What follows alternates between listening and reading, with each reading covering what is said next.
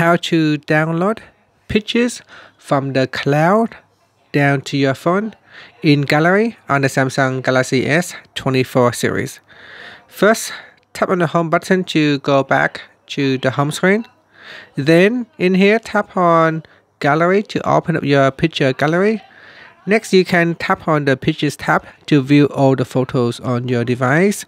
Or you can tap on albums and then tap on the album that you want to uh, view the pictures in here. First, you need to touch and hold on one of the pictures to go into a selection mode and then select all photos. Next, tap on more and from the pop-up menu, tap on download. This will download um, items stored on the cloud down to your phone. Sometimes you may want to download to your phone in case if your cloud account is uh, closed. If you don't want to use that cloud account anymore, you may need to download all the images down to your device. And that's it. So that is how you can download photos from the cloud down to your local storage device. Finally, you can tap on the home button to go back to the home screen. Thank you for watching this video.